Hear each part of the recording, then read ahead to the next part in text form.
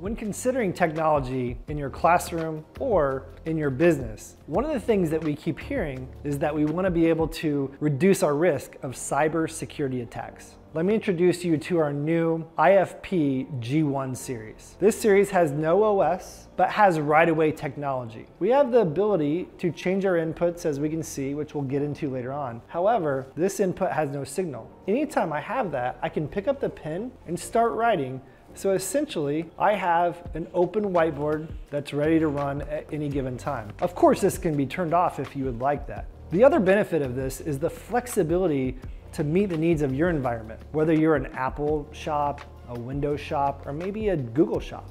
On the side, we have enough inputs, HDMI, touch, USB-C, to meet all your needs. We also have the ability to run a slot in on the side.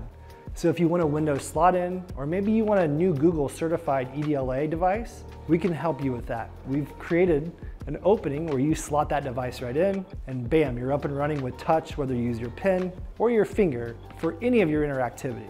So if you're interested, take a look at our IFP G1 series.